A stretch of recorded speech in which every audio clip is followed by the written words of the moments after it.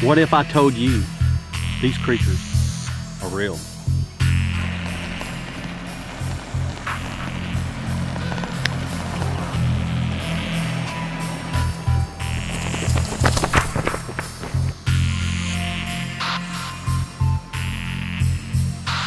to have this print cast. We're going to have Dr. Meldrum take a look at it. Hopefully we can find dermal ridges, we can find hair stuck to the bottom, and we'll have solid evidence that proves that the wild man came through this area.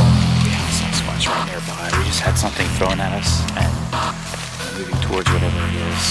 to get the Sasquatch from the bunkers to the family units on the other side of the compound. Having him out here sitting with this bait, I was seriously concerned about his safety. Seems a little bit haphazard for the government to be doing. The only thing is, they're recent. They haven't been here very long. My name is Rob Goday.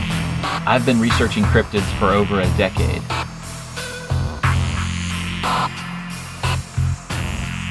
You know, this is brilliant, a brilliant use of propaganda to keep them out of out of a section they didn't want them in. But the story came from somewhere. You know, they saw something.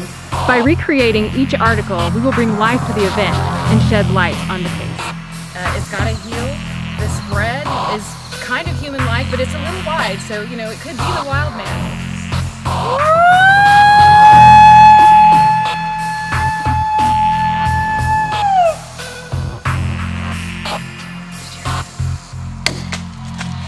and it also breaks off. So. Yeah, get it.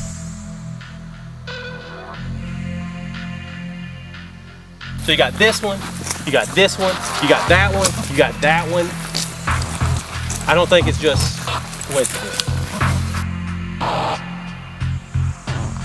Never say it was a squat.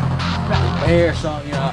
But he knows, but he walked on two legs. it Looked at me, right? These creatures are twice as fast, 10 times smarter, 10 times stronger, we can't beat them. This, this was either exaggerated or just made up. The future of mankind is rest on this location.